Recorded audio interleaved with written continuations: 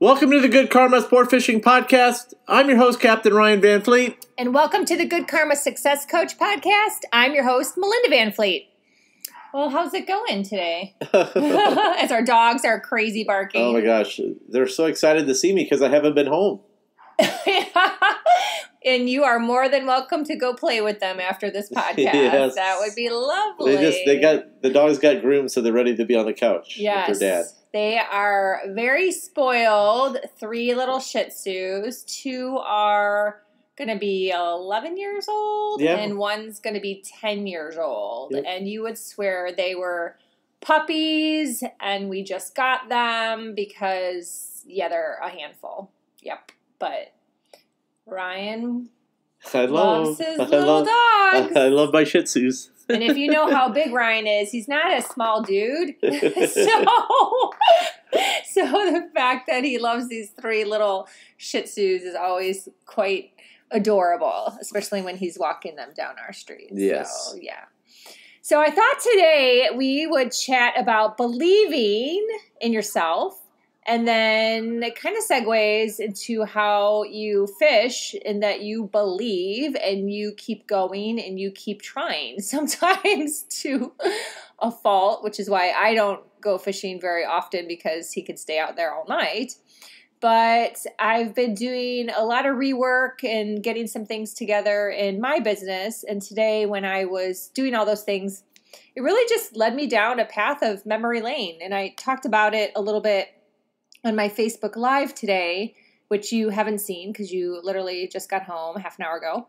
But I thought we could talk about it on the podcast and you could share your perspective on believing in yourself and even when things were really rough and when we first got started and you really started from scratch. You didn't grow up down here. You didn't have a dad and then a grandpa and everyone that fished. You No. didn't have anyone that taught you. Nobody taught me. yeah. So maybe share some thoughts on, you know, how did you drum up all that confidence to get out there and and believe in yourself and and and start to learn how to fish or even how to start to learn how to do this business because it's applicable to anything in life.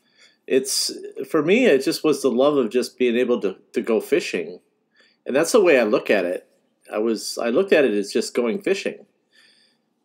Really that was it. And it was the for me it was the small wins along the way. I guess the best way for me to describe it is the fish is a symbol. It's just a, it's a, it's a symbol when you catch a fish it's a symbol as a win. Uh, all the hard work that goes into it and you can really make things happen in your life. And when you catch a fish that you've really put all your time and effort into learning, and you catch that fish even in super tough conditions, it's like a symbol. It's like all that. It's not about catching the fish. It's all about all the work Mm. that you put into it and the reward. hmm So, and that's kind of the way I Always approached it. that's the way how I always approached it. And really, I didn't think about it. I just went and did it. And I just went fishing.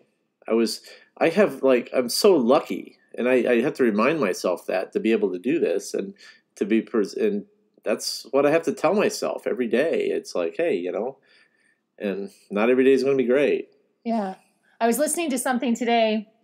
It was an amazing little course on Facebook, and Ryan, you'll be listening to it this weekend. Oh, So I know fun. you No, love all I the things that I doubt that. Yes, I doubt it. no, you No. will be. Yes, well, No, we'll- I'm not going to be listening to that crap. No, Not it's this not weekend. crap. No, not this weekend. I'm not listening to that stuff this weekend. Anyhow, this is our our world.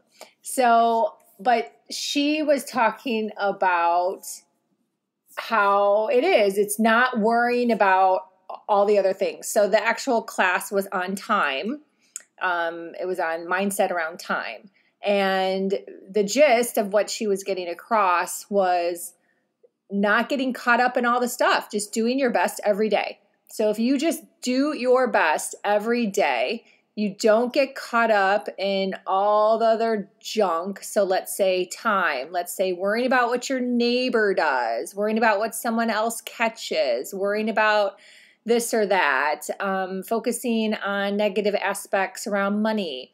You know, there's lots of things that can go into that bucket. And that's all stuff that's going on in your head that most often you don't talk about with other people, but it's going on in your head, your concerns and different things that take you off those positive railroad tracks. But if you just stayed focused and did your best every day consistently and you didn't give up, you're going to get there. And you can collapse time in the process if you stay on those tracks, if you stay on the positive railroad tracks, if you don't go back and forth, if you don't get caught up in other bullshit out there, if you just stay true to your path and to your mission. And that's quite interesting that that's what I was listening to today as I was doing a lot of work around the house and doing some other things. And here it is. That's really what Ryan is saying contributed to him building what he's built. He just stayed consistent to his love of fishing and consistently fishing. That's it. It's the love of fishing. And that's honestly, that's it. It's the love to just go fishing. And like I had it was just an interesting story. It just it and it just happened this week. And in my in my rigging group, I've got a, um, Tim, and he fished with me on on Monday.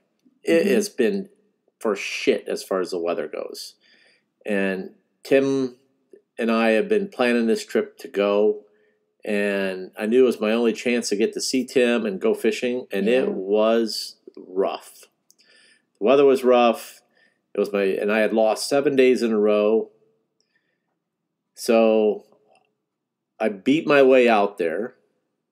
And I get all the way out there and I realize that I left my tackle box with all my weights and all my hooks. I know, and you texted me. I was like, of all the people, back like, at oh, back at back at the dock that you're fishing with.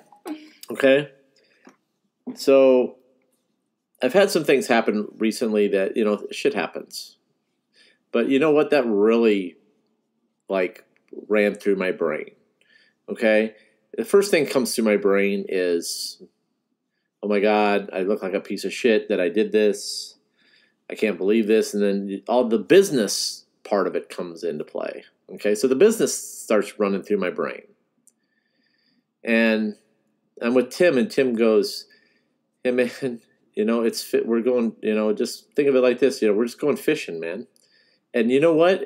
At that time, I was like, I kind of lost. Like, it was like a little bit of me just kind of lost that I'm there to go fishing because I was out all week. I was stressed. I lost money, and I just kind of got lost. And I and all that whole mumble jumbo, I forgot my tackle box. Mm. So, yeah, because you've never done that, before, and I've never done that ever. And I was just stressed. I was stressed because, and then. So I pulled the anchor. I got anchored. I got all set. It took me like an hour to get set so, but I looked at the, so then all of a sudden my brain started clicking. I looked at the tide charts and we were there to catch a big grouper. Okay. That was it. Anything else was, that, that was the plan. Whether we were going to get one, we are going to go all in. And you guys know about sword fishing. The, catching a big grouper is, there's, there's ways to do it and times and all that stuff. It's, it's strategy. So, and if you don't, it's, there's a lot that goes into it. So I'm not going to go into that today so I so I said, "Hey Tim, let's just you know we're going to make the run back to the dock." He said, "Yeah, man, let's just go." So just we ran back in, and I picked up the tackle box, and we got back out, and the the tide was like really crappy, and the fishing was really crappy. And then I just was a stick it out, stick it out, and we lost a grouper and I was like, we're going to get another shot. And then the weather got really rough. The wind started picking up against the tide. It was blowing. And sure enough, right before it got really nasty, we ended up getting a 30 pound black. Tim caught his 30 pound black grouper, his first one. And right after that, we pulled the anchor and got out of there because it was getting nasty. Yeah. But the, what I'm trying to say is that it's just the, the fish to me is like a symbol is that eh, like you said all the work that goes into everything and it's more about how in life that things can happen Like magic can happen if you work hard enough. And when you catch a fish in the bottom of the ninth with five minutes left to go, and like that is how I look at it. That is how I look at it. I've had instances where I've caught wahoo like that, coming home with nothing in the bag, and you're, all you're looking for is one big wahoo. That's all that client wants. And your mindset's got to be right. My mindset was right that day. I said I knew we were going to get that fish, and I don't know why, but I just stuck it out, and we got it. So that's the way I look at it. That's the way I look at fishing. I look at it like, hey, man, there's a chance that you could be out there and you could something awesome can happen anytime you're out there. It's not about being out there every day either. I get that a lot. It's like, yeah, I'm out there every day, but I know guys that go out there on the weekends and they see a whale shark. I've never seen a whale shark. Yeah. So it's not about being out there every day and the chance. Yeah, being out there every day helps because you see different conditions, but there's ways you can like make yourself better. So I guess what in the end here I'm just trying to say, hey, if the fish is a symbol of hope for me. Like you, I can make magic happen, and some days it doesn't, and so you know that's the way shit works. But when it does happen, there's something in my mind that just clicks that says, "Wow, it's just amazing." So I think it more if more people looked at fishing that way, then I think you would probably catch more fish and enjoy the time out on the water. Mm-hmm. So I've just been very lucky that I have the clients that I have had over the past three weeks are clients that listen to the podcast. And these guys are like all think that way. Right. They all think the same. And that makes them like the fishing trip so much better. I would never have gotten that fish if some guy would have gotten my ear. Mm-hmm. Oh, how'd you do that? Or if he would have got all mad, he wouldn't, and then it wouldn't have happened. But I've been very lucky that I've had people listening to this podcast that are like Like minded. like minded. So they know shit can happen out there. So Yeah. that's just you know, so that's what I'm just trying to say. Yeah. Yes. But it's relatable to anything. I mean, relatable just like in life. just know? like anything like money is also a symbol Mm-hmm. right and so many people get caught up in the money aspect but really it's it's just it's a symbol it's energy it's a symbol and you have fun while you're earning it it's the journey it's the process and then that's the reward so Yep. And then like with fishing you get so excited when you share with the guys at the marina and it's the same aspect with anything. It's being generous and sharing in the reward and making it just a really fun experience. Yeah, that's that's it. And I get so it's just the the whole reward for me now is just being able number one to to meet goals, be consistent.